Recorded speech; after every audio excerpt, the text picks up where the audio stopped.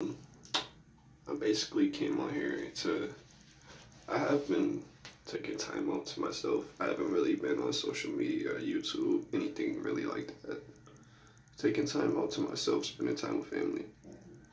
But yeah, um, I wanted to come on here and basically tell everybody that wasn't really that, isn't really aware of how cloning and stuff works in Hollywood and in this in the industry.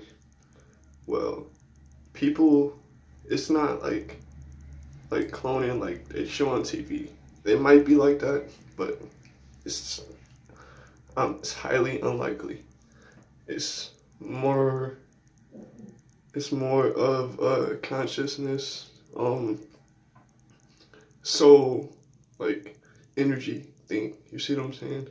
Like these people basically like don't get me wrong. Like I said in my other video, a lot of these rappers and, and stuff like that, I didn't I didn't know the exact word to say, but they're angels. You see what I'm saying? They have a message and they have energy that's getting used by these entities and these elites. You see what I'm saying? So that's when the cloning and stuff come into play.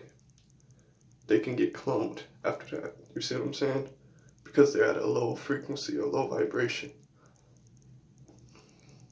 But um, I just wanted to tell everybody pretty much that that didn't wasn't really familiar with how all that works and how the industry works, but when they're at a a low frequency and a low vibration, anything can happen, anything can come and control them and take over them.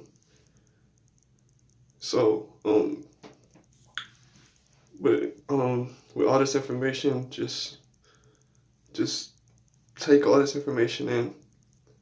Um, stay away from all the bullshit and take care of yourself.